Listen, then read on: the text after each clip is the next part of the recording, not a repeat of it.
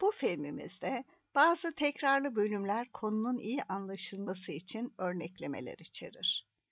1232'de Papa 9. Gregory, kedilerin şeytani varlıklar olduğu konusunda bir fetva vermiştir. O zamanlarda kediler ve sahipleri öldürülmeye başlanmıştır. Ancak hesaba katılmayan bir şey vardır, fareler. Avrupa'da kara veba adı verilen salgın gerçekleşmişti. 1347-1352 yılları arası Avrupa nüfusunun %35'i ile %58'i arası bu salgın sonucu yok olmuştu.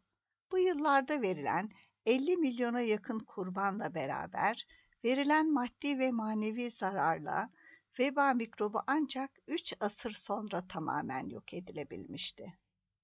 Fare bitinden geçen bu salgında hiçbir suçu olmamasına rağmen kedilerde aynı kadınlar gibi şeytanın işbirlikçileri olduklarına inanılmasından dolayı onlar da vebaya neden olan şeytanımsı varlıklar olarak kilise tarafından suçlu bulunmuşlardı.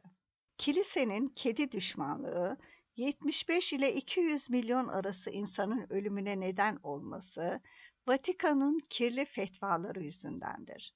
Farelerin doğal düşmanları olan kedi ırkının neredeyse yok olma noktasına gelmesi sonucu artan fare popülasyonu veba salgınının yayılarak etkisinin asırlarca sürmesine neden olmuş ve bugün hala var olan kedilerle ilgili saçma sapan batıl inançları ortaya atıp kedilerin ve insanların hayatını karartmıştı.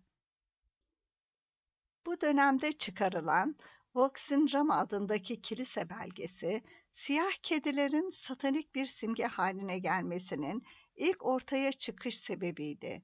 Yobaz Papa, kedilerin şeytan olduğunu ilan etmişti. Zaten Avrupa'da o dönem bir şeylere şeytan damgası yapıştırmak, her şeyi şeytan görmek çok popülerdi. Ve bölgedeki bütün kedilerin onlarla işbirliği yapan cadılarla yani sahipleriyle beraber yakılması için ferman verdi. Bunun üzerine sayısız kedi katledildi. Artık sadece birkaç sayılı aristokratın kedisi hayatta kalmıştı. Ama bu korkunç şeytan temizleme ayininden sonra ölen masum hayvanların ve doğanın adaletinin vereceği ders çok büyük olacaktı. Çok geçmedi. İntikam Kırım'dan İtalya'ya gelen bir geminin ambarında geldi. Geminin ambarından limana inen birkaç fare veba mikroplarıyla birlikte Avrupa sokaklarında fink atmaya başladı. Mikroplarını insanlara bulaştıracak olan bu fareleri ortadan yok edebilecek hiçbir kedi yoktu. Avrupa nüfusunun neredeyse üçte biri sayılan 75 milyon insanın vebadan telef olmasının arkasındaki sebep tamamen cehaletin ve doğurduğu nefretin sonucuydu.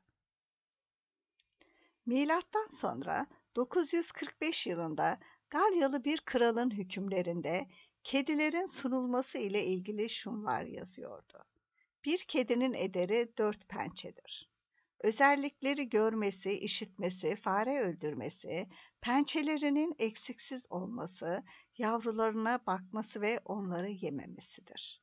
Avrupa'yı silip süpüren veba, kedilerin önemini çok artırmış, kıta boyunca hızla yayılması sağlanmıştı. Kemirgenleri avlayan kediler o zaman çok ünlenmişti. Romalılar sayesinde kediler İngiltere'ye ulaştırıldı ve sonraki yıllarda kedilere çok iyi davranıldı. Bu özelliklerin herhangi birinde kusur olursa fiyatının üçte birisinin iade edilmesi gerekir. Ayrıca kedi öldürmenin cezası vardı. Tabii eski Mısır'daki kadar sert olmasa da diğer cezalara göre oldukça sert sayılırdı. Orta Çağ Avrupa'sında kilisenin kedi katliamını özendirmesi ve Doğa Ana'nın veba teknolojisi ile derin intikamı sonucu 70 milyondan fazla insanın ölümü hızlı olmuştu. DNA'ları incelenen modern evcil kediler ve antik dönemden kedi kalıntıları, kedilerin kökenine dair daha önce bilinmeyen gerçekleri ortaya çıkarmıştır. Günümüzdeki kediler iki esas genetik soydan gelmiştir. Felis silvestris libica türü vahşi kediler günümüzdeki kedilerin atasıdır. Bu kediler 10 bin yıl önce Anadolu'dan dünyaya yayılmıştır. Kediler kedi olalı insanlığa ve doğanın döngüsüne sabitleyici görevi yaparken Hristiyan dininin cehaletinin ve barbarlığının kirli kurbanı olmaktan kurtulamamışlar. Vatikan'ın kirli kanlı tarihi kedi dünyası için tam bir kara tarihtir. Milattan sonra 5. yüzyıldan başlayan ve Fransız devrimine kadar süren Orta Çağ'da papalık ve dönem papaları kedilere hiç iyi gözle bakmamışlardı. Papalar kedilerin şeytanımsı uğursuzluk getiren varlıklar olduğunu söylemişlerdi. Eski Mısırlıların kedilere doğaüstü güçler, eski Avrupa paganlarının ise asalet ve güzellik imgeleri vermeleri, Katolikliğe karşı yapılmış sapkın anlayış olduğuna inanılmasından dolayı doğa dostu sevimli kedilerin tamamen yok edilmesi amaçlanmış, yok edilme emri verilmişti.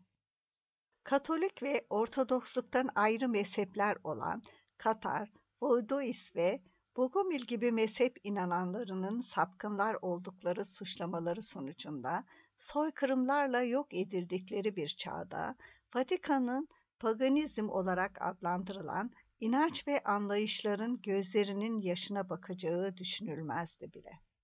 Geçmişte çiftçilerin yanında zaman geçiren kediler köylerde ufak kemirgenleri yiyorlardı. İnsanlarla ilişkileri iyiydi.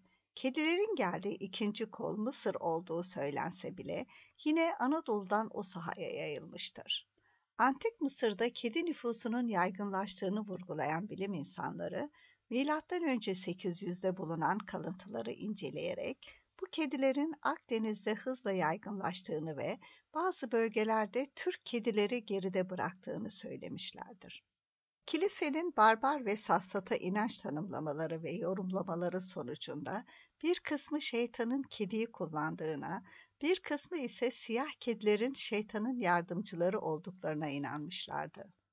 Hala günümüzde bile siyah kedinin uğursuzluk imgesi olduğuna inanılmasının altında 1233 yılında başlayan Vatikan fetvaları yatar. Bu tarihlerde kilise eski pagan, yerel inanç ve ananevi olguları yok etmek için siyah kedilerin şeytanın hizmetkarları oldukları gibi söylentileri yaymaya başlamıştı.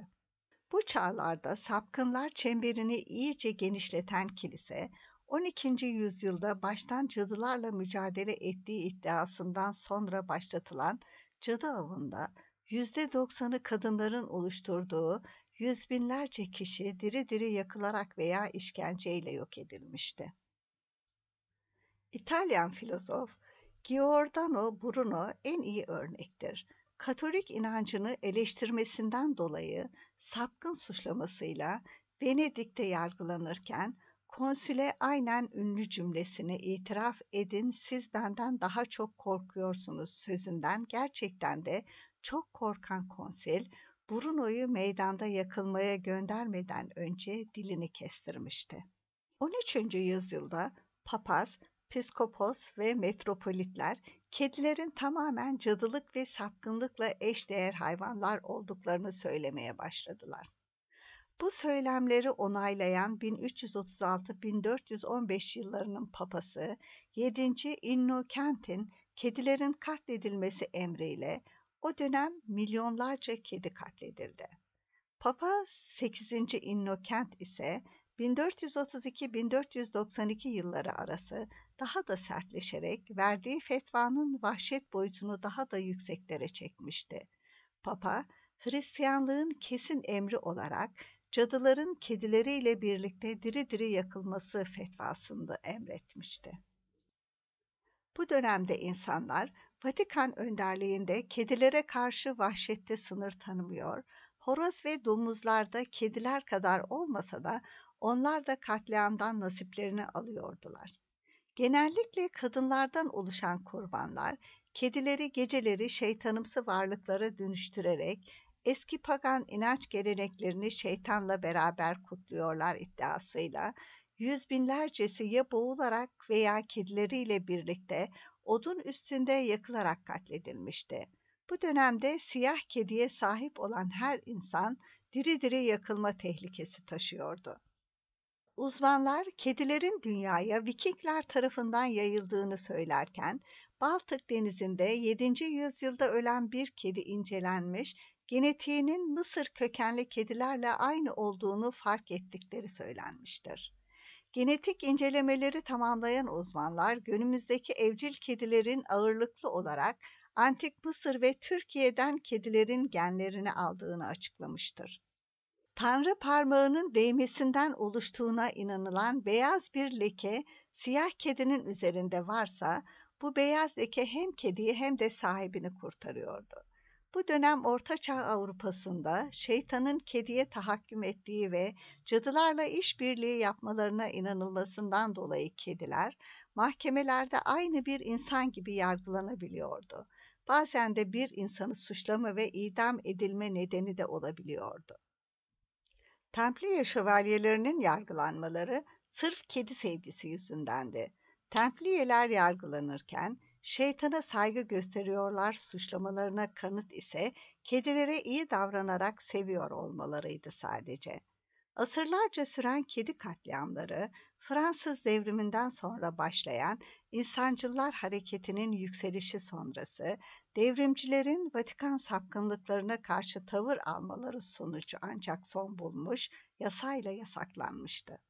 Kilisenin papalığın zalim din cahilliği ile kedilerin tamamen yok edilmesi sonucu 14. asırda kara veba veya büyük veba salgını Avrupa'yı kasıp kavuruyordu. 1347-1352 yılları arası Avrupa nüfusunun %30'u ile %50 arası bu salgın sonucu yok olmuştu. Oysa Vatikan fetvaları sonucunda farelerin doğal düşmanları olan kedi sayısının neredeyse yok olma noktasına gelmesiyle artan fare popülasyonu veba salgınının yayılarak etkisinin asırlarca sürmesine neden olmuştu. Kediler Vatikan saçmalıklarıyla ve barbar safsatalarıyla katledilmiş olmasalardı veba salgınına bu kadar kurban da verilmeyecekti. Bu yıllarda 50 milyona yakın kurbanla beraber verilen maddi ve manevi zararlarla veba mikrobu ancak 3 asır sonra tamamen yok edilebilmişti. Fare bitinden geçen bu salgında hiçbir suçu olmamasına rağmen kedilerde aynı kadınlar gibi şeytanın işbirlikçileri olduklarına inanılmasından dolayı onlar da vebaya neden olan şeytanımsı varlıklar olarak kilise tarafından suçlu bulunmuşlardı. Londra Lordu, Vatikan önerisiyle Londra'daki bütün kedilerin katledilme emriyle farkında olmadan salgının daha kolay yayılmasını sağlamıştı. Avrupa'da veba ile ilgili şüphelenmeyen tek hayvanın fare olması ise daha düşündürücüdür. Fare sorusunu nedense hiç sormamışlar. Oysa Orta Doğu ve Asya'da veba mikrobunu farelerin taşıdığı bilinmesinden dolayı kedilere fareleri yok etmeleri için daha iyi bakılıyordu. Doğal düşmanları kedilerin yoğun olduğu ortamlarda farelerin bu yerlerde yaşam alanları bulamamaları sonucu veba çok az hasarlarla atlatılıyordu. 25 Aralık 800 yılında sevgi inançlı Vatikan Papası 3. Leon tarafından imparator ilan edilerek kutsanan Şarman Avrupa'da Katolik inancını zorunlu tek inanç ilan etmiş, karşı koyan pagan ve diğer inançtan olan insanların tamamını çoluk çocuk demeden kılıçtan geçirmişti. Yobaz ve Bağnaz fetvalarıyla milyonlarca insanın vebadan ölmesine neden olan yüz binlercesini vebanın sorumluları diye köy ve kent meydanlarında diri diri yakan, milyonlarca kedinin katledilme emrini veren, tarihin her sayfasında kanlı, kirli eli olan Vatikan'ın mı yoksa kedilerin mi şeytanın işbirlikçileri diye insan sormadan da edemiyor. Avrupa'da rakip gördükleri pagan ve diğer mezhep inananlarını tamamen soykırımla katledilmesi sonucu tek hakim inanç kalan Katolikler, katledecek cadı, kedi bulamadıkları için bu defa vebanın sorumlusu olarak Yahudileri hedef almışlardı. Saint Rem'de, Provence'de sinagog ateşe verilmişti. Languedoc, Narbon ve Cassone kentlerinde Yahudiler toplu olarak katliama tabi tutulmuşlardı. Doyphane'da Katoliklerin eline geçen Yahudilerin tamamı lanetli oldukları için diri diri yakılmıştı. 1348'de Yahudi karşıtlığı Fransa taşrasında baş göstermeye başlamıştı. İlk olarak 13 Nisan'ı 14 Nisan'a bağlayan gece Toulon'da 40 Yahudi katlediliyor, evleri ve dükkanları yağmalanıyordu. Bu başlangıçtan sonra Toulon çevresinde Yahudi katliamları haberleri ard arda geliyordu. Forcalquier, Monax'ta katliamlar engellenemiyordu. İspanya'nın Bask eyaleti olan Navarre ve Castille eyaletlerinde de bu tür katliamlar yapılmaya başlanmıştı. 13 Mayıs 1348'de Barcelona Yahudi mahallesi tamamen yağmalanıyor, kaçamayanlar ise katlediliyordu. Fransa Kralı Philip IV, katliamları durdurmak yerine içme suyu kuyularını zehirleyen Yahudilerin öldürülmesi yasasını çıkarması sonucu ilk baştan Orleans'ta 6 Yahudi idam edilerek öldürülüyordu. Katliamları durdurmakta zorlanan Dofni valisi Humbert II, kalan Yahudileri tutuklayarak ancak canlarını kurtarabilmişti. Genişleyerek yayılan saldırılarda Busles Barones, Valence Le Tour de Pin, Saint Saturin'de katliamlar yapılmış, Pont de Beauvois'te Yahudilerin içme sularına veba bulaşıcısını karıştırdılar suçlamasıyla su kuyularına atılmışlardı. Ağustos 1348, Savaü kenti Yahudi katliamlarına sahne oluyordu. Baştan Yahudileri korumak isteyen Chambry kontu daha sonra Katoliklerin Yahudi katliamına ses çıkaramamıştı. Kasım 1348, Bugey, Miribel ve Frankont'ta katliamlar baş gösteriyordu. Vebaya neden olduğuna inanılan Yahudi Aşkenazlar bu defa Almanya'da katlediliyor, malları yağmalanıyordu. İsviçre, Çilon ve Leman Gölü bölgesindeki Yahudilerden 15 kişiye işkenceler sonucu zorla kuyuları zehirleyenler oldukları itiraf ettirilmesi sonucunda vebanın sorumluları olarak bölge Yahudileri katlediliyordu. Meyyense'de ise bir gecede 6 bin Yahudi katledilmişti. Bu dönemde Avrupa genelinde 300 Yahudi cemaati tamamen yok edilmişti. Kıyımdan canlarını kurtaranlar aynı akıbete uğramamak için Litvanya ve Polonya'ya göç etmek zorunda kalmışlardı. Strasbourg'da Yahudi saldırı ve yağmasında yüzlerce Yahudi diri diri kent meydanında vahşice yakılmıştı. 14 Şubat 1349 Viyana'da vebanın sorumluları olarak Katolikler tarafından Yahudilerin bir kısmı katlediliyor, bir kısmı ise göçe zorlanıyordu. Bu katliamları yapanlar ise sevgi ve barış dini olduğunu söyleyen Vatikan önderliğindeki Katolik kiliseleriydi. Kilisenin kedi düşmanlığı sürekli devam etti. 75 milyon insanın ölümüne neden olmuş bağnaz cahil kedi düşmanı Papa 9. Gregory'dir. 14. yüzyılda yobaz ve ahmak bir papa olan 9. Gregory, bugün hala var olan kedilerle ilgili saçma sapan batıl inançların ortaya çıkmasında büyük pay sahibi bir insandır. Asya ve Avrupa'da yaşayan milyonlarca kedinin ve insanın hayatını birkaç yıl içinde karartan bu adamın kör inançlarının bedeli canlı yaşama ve insanlığa oldukça ağır olmuş. Bir yobazın korkuları ve elindeki güç yüzünden milyonlarca masum canın katledilmiş olması, tarihten alınması gereken büyük bir ders olması gerekiyor. İnsanlık tarihindeki en büyük hastalık felaketlerinden biri olan veba salgını, namı diğer kara ölümün ortaya çıkış sebebi konusunda birden fazla teori olmasına rağmen bunlardan en güçlü olanı kedilerin intikamı en aklı yatkın olanıdır. 800 yıl önce 9. Gregory adındaki Papa'nın kedi nefreti Avrupa topraklarında önü alınamayan ve tahminen 75 ila 200 milyon arası insanın ölümüne neden olan bir veba salgını trajedisinin yaşanmasının baş sebebidir. Bu dönemde çıkarılan Voxin Rama adındaki kilise belgesi, siyah kedilerin satanik bir simge haline gelmesinin ilk ortaya çıkış sebebiydi. Yobaz Papa kedilerin şeytan olduğunu ilan etmişti. Zaten Avrupa'da o dönem bir şeylere şeytan damgası yapıştırmak, her şeyi şeytan görmek çok popülerdi. Bölgedeki bütün kedilerin onlarla işbirliği yapan cadılarla yani sahipleriyle beraber yakılması için ferman verdi. Bunun üzerine on binlerce kedi katledildi. Artık sadece birkaç sayılı aristokratın kedisi hayatta kalmıştı.